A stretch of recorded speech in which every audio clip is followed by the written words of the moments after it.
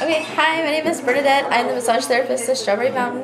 Um, I've been here since April. Uh, I do deep tissue, sports treatment, uh, as well as relaxation. Uh, I just started um, a bronzer polish special. Um, I'm here Monday through Saturday, and you should call in.